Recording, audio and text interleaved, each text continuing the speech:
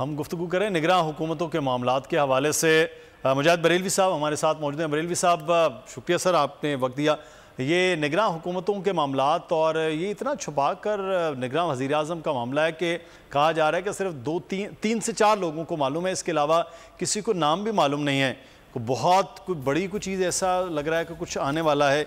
इतनी पर्दादारी आपकी नज़र में क्यों हो रही है सर?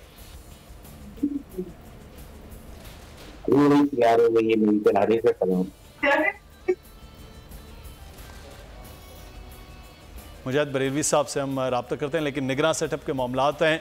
अब ये देखना है कि मुलाकात के बाद नाम के बाद नाम कब और कैसे सामने आता है। आ, कि क्या जी बरेलवी साहब सर मैं ये जानना चाह रहा था कि बड़ी पर्दादारी रखी जा रही है। क्यों पर्दादारी इतनी निगरान वज़ी अजम के लिए? अब तो सिर्फ़ एक दिन इस हुकूमत का भी बाकी रह गया। क्या वजूहत आपको लग रही सर? एक तो ये कि आईनी और कानूनी तौर पर जो कुछ हो रहा है वो दुरुस्त नहीं हो रहा।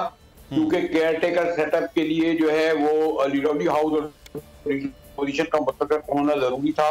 तो पंजाब में देख लें केपी में देख लें वो तो कह रहे हैं कंटिन्यू करेंगे। सिंध में भी जो है ओवरनाइट बदला गया है। निगरा राजा रियाज जिस तरह के जो अपोजिशन है कहीं मैं पढ़ रहा था कि वो दस्तियाब नहीं हो रहे हैं। अब या तो ये है कि ये इसको पार्लिमानी कमेटी को देना चाह रहे हैं नाम क्योंकि अगर आज वो नाम नहीं देते और कल कौमी असम्बली तहरीर करने जा रहे हैं तो उसके बाद इन्हें नाम देने होंगे सस्पेंस हम्म। इसलिए रख रहे हैं कि जो भी नाम आ रहे हैं सामने गालिबन क्योंकि उन्हें अब पता है कि ये तीन माह नहीं चार माह नहीं छह माह नहीं हो सकता है कि ये एक साल के लिए भी रहे तो इसमें जो जितने भी स्टेक होल्डर है स्टेब्लिशमेंट भी है पॉलिटिकल पार्टीज़ भी है बिलावल भुट्टो जरदारी का लहजा भी बदला हुआ है। बड़ा कंट्रोवर्सी है तो इसमें इतना आसान नहीं है नाम देना। और अगर नाम देना होगा तो वो खुद एक नए तनाजे और कंट्रोवर्सी का आगाज़ करेगा। सही। जी। बिल्कुल सही। अच्छा बरेलवी साहब साथ रहेगा उस तारीख का अमीन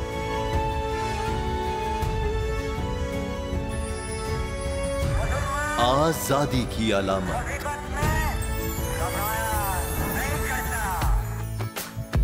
हुसन का आईनादार।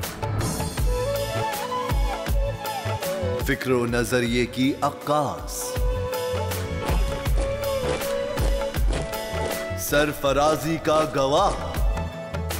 यानी हम सबका निगहबान, पाकिस्तान।